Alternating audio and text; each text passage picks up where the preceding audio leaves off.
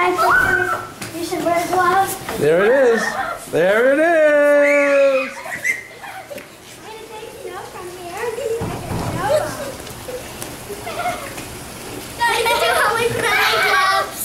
Huh? Could you help me put on my gloves? No, you. I don't know. I'm I'm the, I'm the videotaper. You put the gloves on. Briana, help me put on my gloves. Hold on. I have to throw this like a ball.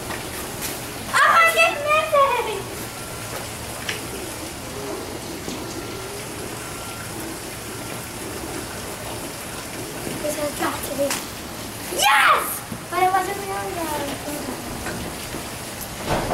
Keith, did you have my gloves? Look at the look how thick it is. My God.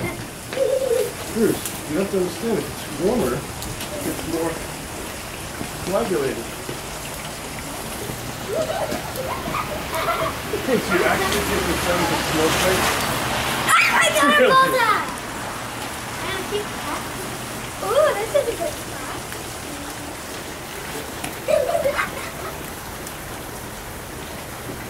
Snowball fight. Where? Where? Yeah. I'd like you to have the hood on, because the hood collects the snow. The snow is going in the hood. Woo! Into your collar.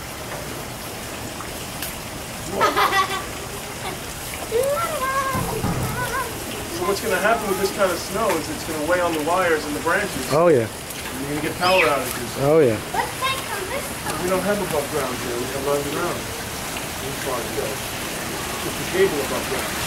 I just put in the. That is some thick snow. That's how it started. That is some heavy snow. It's about 30 degrees snow, 30, 30, 35 degrees if it snows. That's how the big river started.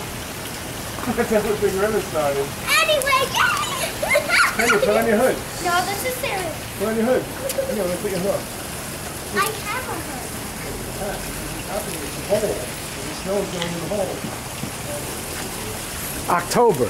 This is That's how the big October. And That's it's October. It's October. This isn't good. unbelievable. I've heard of November snowstorms. I've never heard of an October snowstorm here in New York. I never knew it would snow this early. Do I have a piece of snow on my face? Watch out where the huskies go and don't you eat that yellow snow. Yeah, bang those off because the, the leaves are going to die. The tree's going to whimper over, whimper over. So.